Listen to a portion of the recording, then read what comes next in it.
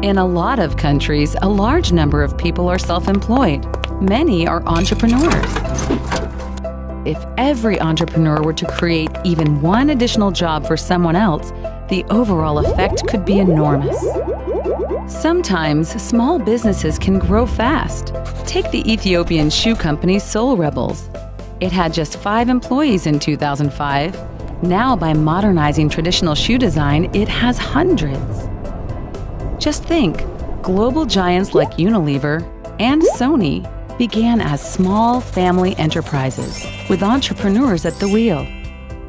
But many of the self employed in lower income countries are entrepreneurs by necessity rather than by choice.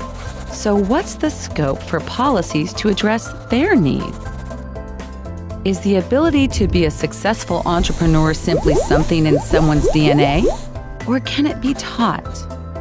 With the right policies, infrastructure, access to finance, and training, can growth entrepreneurs be made? And what about the entrepreneurs that are already out there running small businesses? How can we identify who has the potential to create more jobs and help them grow?